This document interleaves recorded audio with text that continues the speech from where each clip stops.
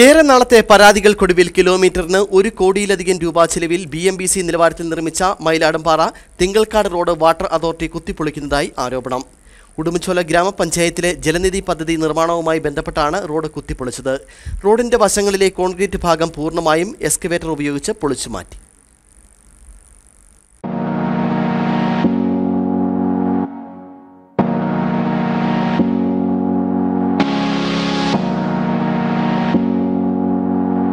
കോടികൾ മുടക്കി നിർമ്മിച്ച മയിലാടുംപാറ തിങ്കൾക്കാട് റോഡിലെ കാഴ്ചയാണിത്.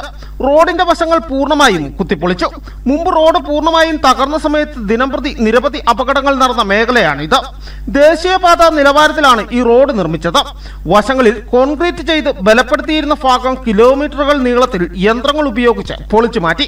തുടർന്ന് ഹോസുകൾ മണ്ണിനടിയിൽ കുഴിച്ചിട്ടു. പിന്നീട് ആരും കാണാത്ത രീതിയിൽ മണ്ണിട്ട് മൂടുകയാണ് ചെയ്യുന്നത്. ഉടുമ്പൻചോല ഗ്രാമപഞ്ചായത്തിലെ ജലനിധി പദ്ധതിയുമായി ബന്ധപ്പെട്ട നിർമ്മാണ പ്രവർത്തനങ്ങളിലാണ് ജനദ്രോഹപരമായ ഇത്തരം നടപടികളും നടക്കുന്നത്. കോടിക്കണക്കിന് രൂപ മുതൽ മുടക്കി കേരളത്തിലെ ഈ ഗവൺമെന്റ് ബഹുമാനപ്പെട്ട Udumbanchola M L A Shri M M മണിയുടെ പ്രത്യേക ഇടപെടലിന്റെ ഭാഗമായി ബജറ്റിൽ തുക അനുവദിച്ച് നിർമ്മിച്ച റോഡാണ് മയിലാടുംപാറ മുതൽ അടിമാലി വരെയുള്ള ഏറ്റവും പ്രധാനപ്പെട്ട റോഡ്. ആ റോഡിന്റെ സൈഡിൽ കോൺക്രീറ്റ് ചെയ്തിട്ടുണ്ട്. ആ കോൺക്രീറ്റ് പൊട്ടിച്ചുകൊണ്ടാണ് ഇപ്പോൾ ഇവിടെ ഈ പൈപ്പുകൾ സ്ഥാപിക്കുന്ന പ്രവർത്തനം സംഘടിപ്പിച്ചു വരുന്നത്. വളരെ നിരുത്തരവാദപരമായ ഒരു കാര്യമാണ് അവിടെ നിർവഹിച്ചുകൊണ്ടിരിക്കുന്നത്. വാട്ടർ അതോറിറ്റിയുടെ ഭാഗമായി ഈ കോൺട്രാക്ട് എടുത്തിട്ടുള്ള ആൾക്കാർ വലിയ ജെ സി ബി എല്ലാം കൊണ്ടുവന്നിട്ട് ഈ കോൺക്രീറ്റ് പൊട്ടിച്ചുകൊണ്ട് പൈപ്പ് ഇടുന്ന ഒരു പ്രവൃത്തി നടത്തുന്നത് പി ഡബ്ല്യു ഡി ഉദ്യോഗസ്ഥന്മാരെ സംബന്ധിച്ച് അവരെ അറിയിച്ചിട്ടുണ്ട്. ആ പരാതി അവർ പരിഗണിച്ച് ആവശ്യമായ നടപടി സ്വീകരിക്കുമെന്നാണ് ഞങ്ങൾ പ്രതീക്ഷിക്കുന്നത്.